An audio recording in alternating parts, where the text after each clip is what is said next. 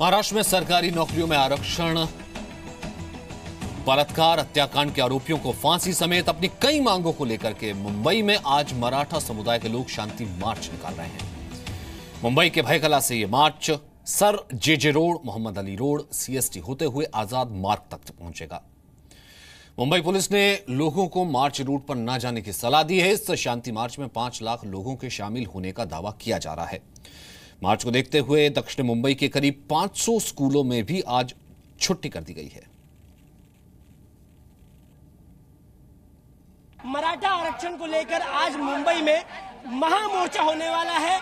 आप देख सकते हैं, इस वक्त हम भाईखला के स्टार्टिंग पॉइंट पे हैं, जहाँ जो है इस मोर्चे की शुरुआत होगी। लाखों की संख्या में लोग अभी ही आए हुए हैं, अभी कुछ घंटे बाकी है।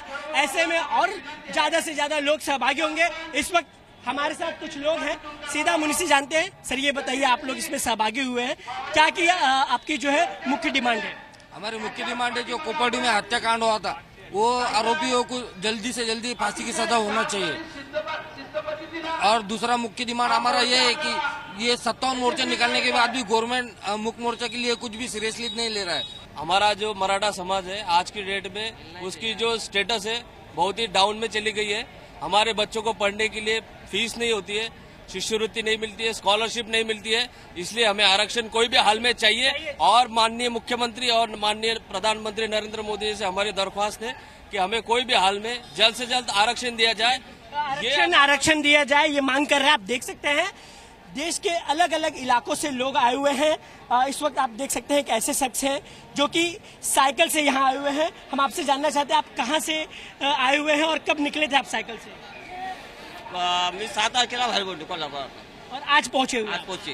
तो ये जो शख्स है वो छह तारीख से निकले हुए हैं साइकिल से और आज यहाँ पहुँचे हुए यानी कुल मिलाकर देखे तो आप देख सकते हैं यहाँ जो हुजूम है, मुंबई में वो उमड़ पड़ा है। मुंबई पुलिस ने भी अपने तरीके से पूरी तैयारियाँ की है। इसके पहले सत्तावन मोर्चे हुए हैं और ये आज अट्ठावनवा मोर्चा है। और इस मोर्चे की एक खास बात है कि ये शांतिपूर्ण ढंग से ये मोर्चा संपन्न होता है।